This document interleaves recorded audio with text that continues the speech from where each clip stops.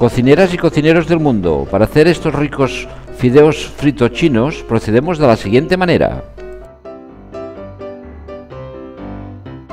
Para empezar ponemos en remojo 200 gramos de fideos de arroz durante unos 20 minutos. En aceite caliente salteamos 450 gramos de setas y añadimos sal, pimienta y ajo en polvo.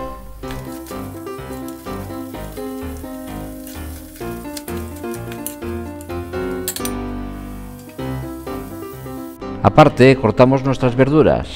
Primeramente una zanahoria, seguidamente pimiento amarillo y pimiento rojo,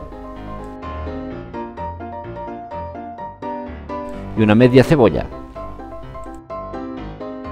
Añadimos estas verduras a las setas que están salteándose.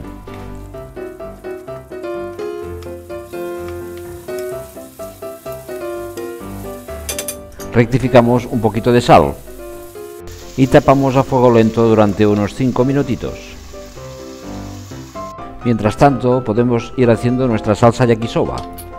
Ponemos dos cucharadas de salsa de soja, dos cucharadas de salsa perrins, una cucharada de salsa de ostras y una cucharada de ketchup. Y añadimos media cucharadita pequeñita de azúcar.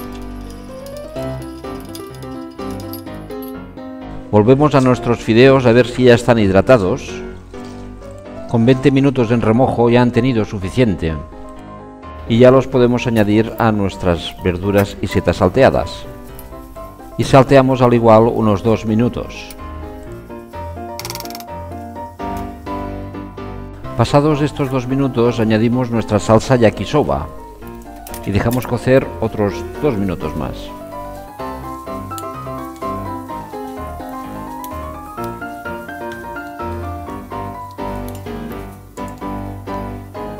Y cocineras y cocineros del mundo, esta receta ya la tenemos concluida.